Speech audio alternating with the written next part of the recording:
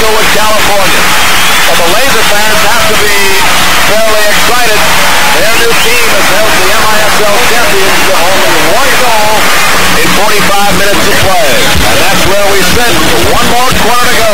The major indoor soccer league is beating Denver 1-0.